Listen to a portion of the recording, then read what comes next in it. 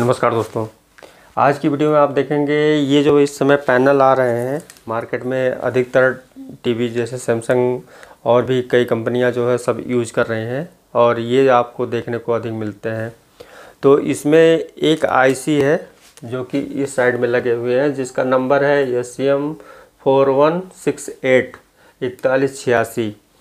तो इसका सिस्टम और पहले वाले पैनल में बहुत सारे डिफरेंस हैं और उस डिफरेंस को आप देखेंगे तो यहाँ पे क्लियर हो जाएगा, जैसा कि इसके पहले वाले वीडियो में हमने बताया था सी के लाइन के बारे में।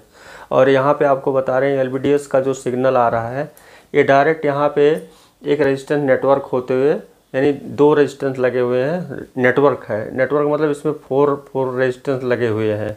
जो हमारा 220 ओम या 120 ओम, अदर कई जगह आपको देखने को मिलेंगे, या 100 ओम जो भी होता है। तो इसमें जो है, ये रेजिस्टेंस यानी यहाँ पहले जो एलबीडीएस सिग्नल आएगा, यहाँ इन होगा इस रेजिस्टेंस के थ्रू यहाँ इस कफ में डायरेक्ट आ रहा है। आप अदर पैनल में, जो पहले वाले पैनल में देखते होंगे, ये पहले एक टीकॉन आईसी में इंटर होना था, होता था। तो उसके बाद फिर वहाँ से जो सिग्नल निकलते थे, इसके अलग फिर कफ में जाता था। तो अब क्या है, अब डायरेक्ट यहाँ से आ रहे हैं एल केबल से और इस कफ में इन हो जा रहे हैं। अब जो सिस्टम यहाँ पे पहले था, वो इसमें इंटरनल हो गया, इसके फ़ंक्शन का। अब जो और काम है, यानी स्विचिंग कराना पैनल को स्कैन कराना, उसके लिए जो है, यहाँ पे इसको अलग कर दिया गया, यानी आईसी को। आने वाले समय में वैसे एक ही सिंगल कप में ये सबको जो है इंक्लूड कर दिया जाएगा। वो एक एडवांस टेक्नोलॉजी है, जो बहुत जल्द आपको देखने को मिलेगा, एक साल के आसपास।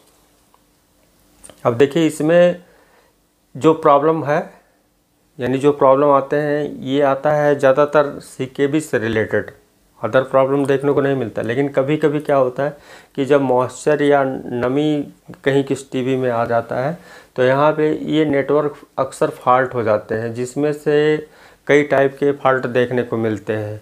तो यहाँ इसके लिए हमने जो है, यहाँ पे इसको डिज़ाइन किया है कि आप इसके रेजिस्टेंस को देख के और यहाँ पे आप कोई भी रेजिस्टेंस अदर मतलब अदर जैसे नेटवर्क आपके पास नहीं है नेटवर्किंग अगर रेजिस्टेंस नहीं है तो आप कोई भी रेजिस्टेंस इसके वैल्यू का सेम लगा सकते हैं। तो ये जो है हमारा एल सिग्नल यहाँ से इन होके और डायरेक्ट कफ में इंटर हो रहा है। ये किसी भी इसमें आईसी में नहीं जा रहा है। तो इसलिए इसको ओपन किए हैं हम और ऐसे ऐसे इसका क्लियर हम करते जाएँगे जो ये कहाँ कहाँ से कैसे कैसे कनेक्ट है। और किसका क्या काम है और कौन सा सिग्नल वोल्टेज अगर अपसेंट होता है तो उसका क्या प्रॉब्लम स्क्रीन पे दिखता है, उस चीज़ को भी समझेंगे। और फ्रीक्वेंसी कितनी होती है, उसे एक नॉर्मल मल्टीमीटर से कैसे ट्रेस आउट करें? क्योंकि कोई ज़रूरत नहीं है कि आप DSO ही यूज़ करें। एक नॉर्मल मल्टीमीटर भी उसे सर्च करके देख सकता है और उस मल्टीमीटर की जो क्वालिटी है वो हम बताएँगे कि कौन सा मल्टीमीटर लेना चाहिए, जिससे हम उसके मिली वोल्ट को और फ्रीक्वेंसी को देख सकें। क्योंकि जैसे जैसे टेक्नोलॉजी आगे बढ़ती जा रही है, वैसे वैसे आपको भी जो है अपडेट होने की ज़रूरत है। क्योंकि पहले कुछ और था, अब कुछ और है और जितने भी ट्रैक हैं, वो सारे जो है, बहुत ही नैनो में जा मतलब चलते चलते चलते चलते और अंदर मतलब होते चले जा रहे हैं। इस सारी टेक्नोलॉजी को अगर हम समझेंगे, जानेंगे, तभी इससे रिलेटेड फॉल्ट को हम सॉल्व कर पाएँगे। तो जैसे जैसे टेक्नोलॉजी की जो स्पीड है, उसे उसे हमको भी हमेशा अपडेट होना है। क्योंकि आपका ज़रा सा उससे मिसिंग हुआ तो आप पीछे हो जाएँगे। तो इसको थोड़ा थोड़ा आप काम करते रहें जो इस समय कर रहे हैं और नए नए टेक्नोलॉजी को भी माइंड में सर्च करें। देखिए क्या है कि आप मुझसे ये चीज़ सीख सकते हैं कि जैसे ये देखें, ये कहीं भी आपको पूरे गूगल पे, पूरे वर्ल्ड में ये ये चीज़ें नहीं मिलेगा।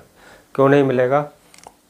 क्योंकि जो ईश्वर गॉड की डिज़ाइन होती है माइंड लेवल का, वो उसी टाइप से उसको वो आइडियाज़, वो बनाने के जो वो चीज़ें हैं, वो देता है।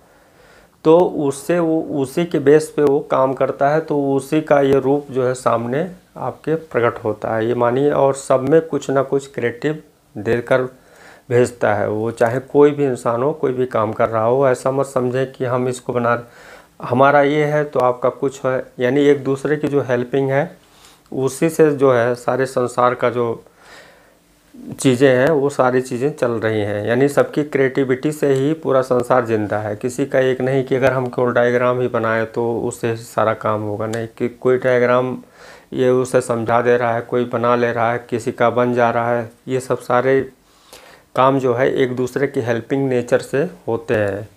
तो इस चीज़ को समझें और इसमें ये ना अपने आप को वो समझें, किसी से कुछ मिल जा रहा है, किसी को कुछ मिल जा रहा है, सबको अपने अपने टेक्नोलॉजी देखने चाहिए क्योंकि आपके पास भी एक ब्रेन है, कंप्यूटर है और आपको क्या मिला है? क्योंकि जब हम कहीं किसी प्रॉब्लम में होते हैं तो दूसरे की हेल्प की ज़रूरत होती है, उनसे वो हेल्प मिला, उसका काम हो गया, वो आगे निकल गए। तो इसी सिद्धांत पे हमको एक दूसरे का हेल्प करते हुए आगे बढ़ना है। तो थैंक यू दोस्तों। आज की वीडियो में पसंद है। मिलते हैं नेक्स्ट वीडियो थैंक यू दोस्तों। और इसमें ये कफ है जो कि हमने ऐसे एक सिंपल बनाया है कि ये जैसे यहाँ से ये जो है सोर्स पीसीबी है, ये हमारा जो टिकान यहाँ पे ऐसे होता है, ये जैसे सॉकेट है तो इसका जो फ्रेम है, यानी जो चौड़ाई है, यहाँ से यहाँ तक की है। और जब यहाँ से कफ जुड़ता है तो इसका जो है हमने यहाँ पे एक आउटलाइन बनाया है। अब ये आउटलाइन देखकर आप स्टेप बाय स्टेप सम, समझ सकते हैं। इसके बाद हम इसके पिन की डिटेल बताते हैं कि ये कितने पिन की है और इसमें कौन कौन से पिन पे कौन से वोल्टेज इंटर हो रहे हैं और किस पिन के वोल्टेज अपसेंट होने से क्या प्रॉब्लम क्रिएट होगा। तो थैंक यू दोस्तों और देखते रहिए। मिलते हैं नेक्स्ट वीडियो थैंक यू